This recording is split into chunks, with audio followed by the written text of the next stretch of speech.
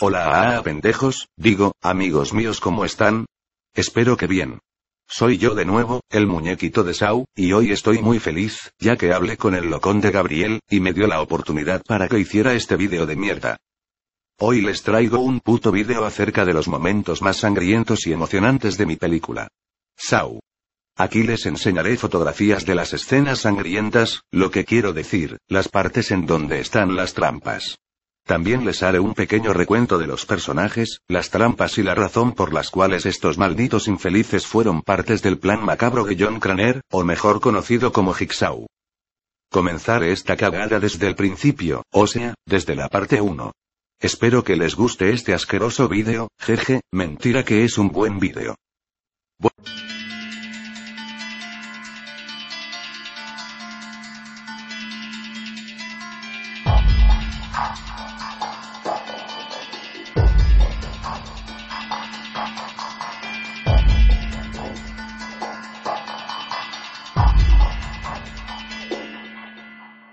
Bueno, esta es la primera parte de esta excelente película, cuando la vi me di una gran impresión, ya que te deja impactado el gran final, cuando todo se desenvuelve y se sabe quién es el dueño de estas trampas.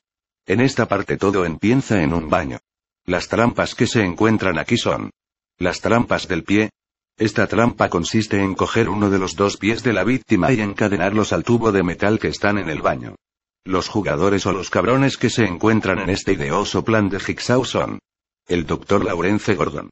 Y el otro macaco hijo de puta es Adam Stannard. Estos tipos fueron elegidos por Jigsaw, por haber cometido una serie de cosas malas, las cuales John nos tuvo que poner a prueba de su voluntad. El doctor Gordon fue elegido por no valorar su vida y por haberle sido infiel a su esposa pal de veces, tirándose a la puta zorra de su secretaria, y por no atender a su familia. Y al cabrón de Adam lo eligieron por follarse a tres vacas, cinco perros y diez gatitos.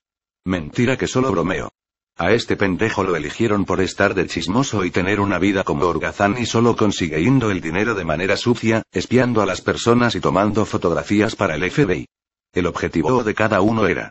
El del Dr. Gordon, era matar a Adam en un período de seis horas, o si no su familia y él morirían. Y el asqueroso objetivo del cabrón de Adam era. Tener que buscar la llave, que desde el principio de la peli la tenía en su pie, pero por desesperarse la perdió en Altina en donde él estaba. Eso quiere decir, que el cabronazo este estaba jodido desde el principio. Jejeje, cosa que me causa mucha gracia. Pero había otra manera de zafarse de la trampa. Era cortándose los pies. Quiero decir, que ellos tenían que cortarse el pie en donde estaban encadenados, para así poder salir, pero era algo muy arriesgado que no quisieron tomar, hasta que el doctor Gordon, por desesperación de ver a su familia, se mochó el pie, Caso que todavía no se sabe si el pendejo está vivo. La siguiente trampa es la trampa de oso inversa. Esta trampa es una de mis favoritas. Jeje, y a pesar que en donde aparezco por primera vez, como la estrella principal de esta peli. Jeje. Bueno, esta trampa fue creada para Amanda Young. A esta perra sucia la eligió Jigsaw por haberse follado a cinco tipos en una noche, y por no haber gritado duro. Jejeje, si ya saben que es mentira. Pues la verdad a esta hermosa mujer la eligieron por ser drogadicta. Como ya había dicho el tipo de trampa que le pusieron fue. El de la trampa de oso inversa. Esta trampa consiste en que toman la cabeza de Amanda y le colocan este fuerte y pesado artefacto. Como su nombre lo dice, es una trampa de oso, pero al revés, el objetivo de ella es buscar la llave de la trampa en menos de 60 segundos, y poder abrirla. Pero no todo es tan sencillo, pues el astuto de Jigsaw quiso poner el juego más emocionante, y hizo que Amanda tuviera que buscar la llave dentro del estómago de su compañero de celda. Todo lo que tenía que hacer era coger el bituri que John le había dejado, y comenzar a rajar el estómago de su compañero, si no lo lograba, se activaría la trampa, quedando la boca de Amanda desencajada y totalmente quebrada. Pero para la buena suerte de Amanda, ella pudo pasar la prueba y salir con vida. La siguiente trampa es, el laberinto de alambres con navajas de afeitar. En esta trampa participa un gordo cabrón llamado Paul Leay. Paul fue una de las primeras víctimas de John Jigsaw. Paul era un suicida, a pesar de que tenía una buena vida con esposa y niños. Sin embargo, John creía que su tentativa de suicidio era solo para llamar la atención. Paul acuchilló sus propias muñecas y llegó al hospital poco después de que John se enterase de su cáncer. Después de la transformación de John en el asesino en serie conocido como Jigsaw, Paul fue sometido a una de sus trampas por sus acciones anteriores. Fue colocado en una jaula grande ocupada por un laberinto de alambre con navajas de afeitar. Él tenía que conseguir salir encontrando un camino a través del laberinto, pero solo tenía dos horas antes de la puerta del cuarto se cerrara, sellándose la habitación. La ironía en la situación era que para poder vivir, tendría que cortarse de nuevo. Paul no pudo hacerlo y se murió cortado por los alambres. Según Kerry, que descubre a Paul, este tenía cerca de 46 años en el momento de su muerte. ¡Qué muerte tan dolorosa! La siguiente trampa, no es una trampa en realidad, sino que es como una prueba. Lo que quiero decir es, que es un veneno. Este veneno de mierda es inyectado a un gilipollas llamado Zep. Zep es un enfermero voluntario que ayuda al Dr. Gordon con sus pacientes. Es el encargado de cuidar de John Kramer, un paciente de cáncer en el lóbulo frontal de la cabeza. Para entretener al paciente, Zeb le cuenta anécdotas de otros pacientes y de los doctores dentro del hospital. Una vez que John se convierte en el asesino Jigsaw, secuestra a Zeb y lo envenena, dejándole instrucciones en una grabadora, donde le informa sobre su condición y la forma de obtener la cura.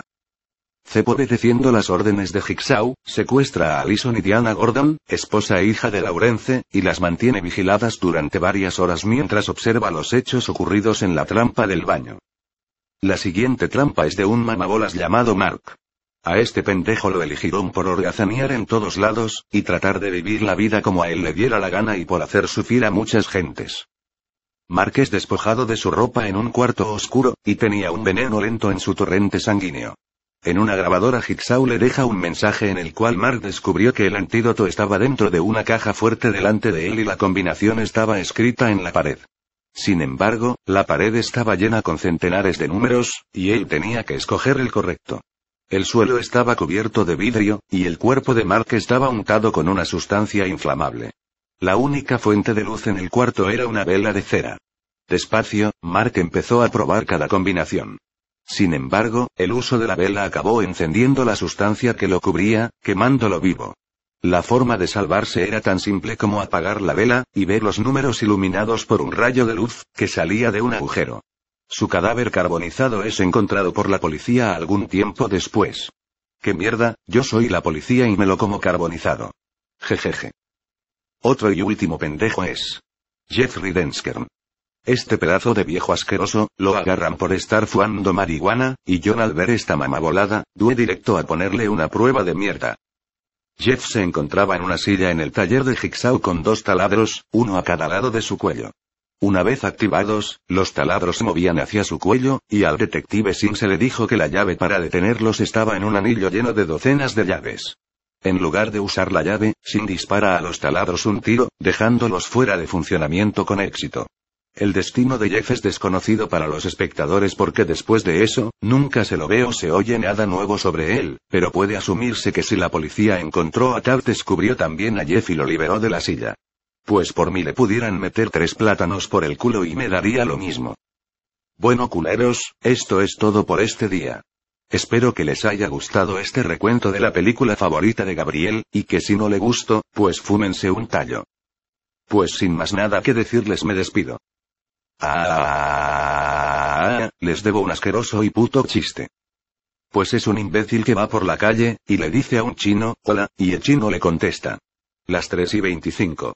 XD XD XD XD XD XD XD XD XD XD XD XD Ah, qué puto chiste más malo, no tiene ni la puta gracia. Debería tirarme de un puente por falta de originalidad. Pero bueno, me importa un pepino lo que vosotros penséis de mí. Ahora sí me despido. Que Jigsaw los atrape a todos, y les ponga la trampa de su vida.